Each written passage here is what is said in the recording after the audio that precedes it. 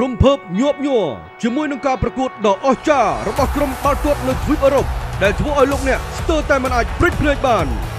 យប់ថ្ងៃប្រហ័សទី3កញ្ញានេះសូមចូលរួមទស្សនាការប្រកួតជម្រុះបាល់ទាត់ Euro UEFA Euro Qualifier 2016រវាងអាហ្សេបៃចាន់និងក្រូអាតផ្សាយផ្ទាល់ចាប់ពីម៉ោង11យប់តទៅ តាមកញ្ចក់ទូរទស្សន៍ CTN, MyTV និង CNC